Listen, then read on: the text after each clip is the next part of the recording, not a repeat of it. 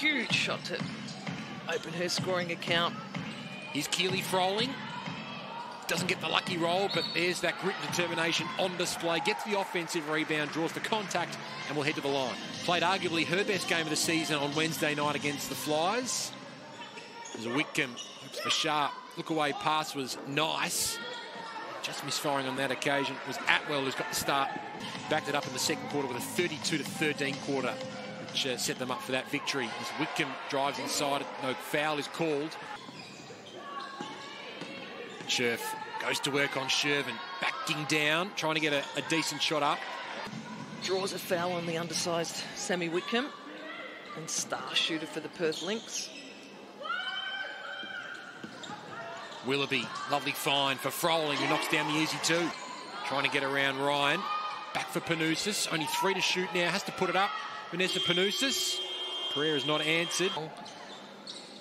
Willoughby guarded closely here by Sharp. Such an elusive player. Wonderful to watch. Froling is a three-point look and knocks it down, and she can do no wrong early. The good shooters are in the 80s, the great shooters are in the 90s. It's a nice little run here for the Lynx just to get them some scoreboard advantage just before quarter time. Clark pulls the trigger. Wow, nylon. And, you know, you've got to decide your double teamer. Does that let someone else loose? Because she's a great feeder, as we see.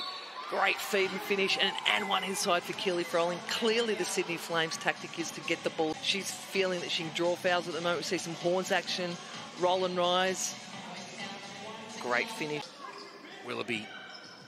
Mismatch down low. They've missed it. Shervin had the undersized Robbie Ryan.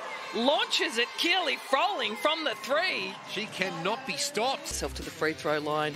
You know, she played inside, she played outside. She's two of three from the three point line. We see her there. Stroke well. Scherf also back on the floor. Looking it out for Atwell. Tough gig here against Willoughby. Good defense from Willoughby as well. Coach Shelley Gorman won't be happy with that defensive execution on the base out of bounds. Froling at the other end continues her ripping night. No, Coach Ryan Petrik on that. Look at their technique.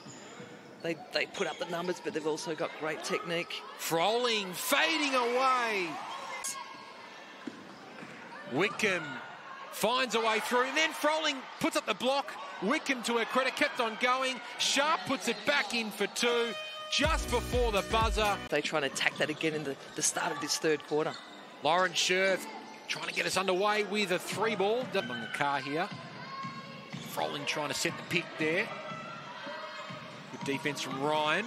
Munga here finally feeds Froling, who feeds Rowe, who draws the contact and will head to the line. But you tighten up and your technique isn't quite as smooth and easy. But, um, you know, as you say, undermanned. Opportunity. Drives hard inside, misses the floater. Froling with the offensive rebound, fading away, no foul call. Re 20 point lead for the Lynx. Car here stuck against the baseline here. Lovely feed inside for Keely Froling. That's 10 assists.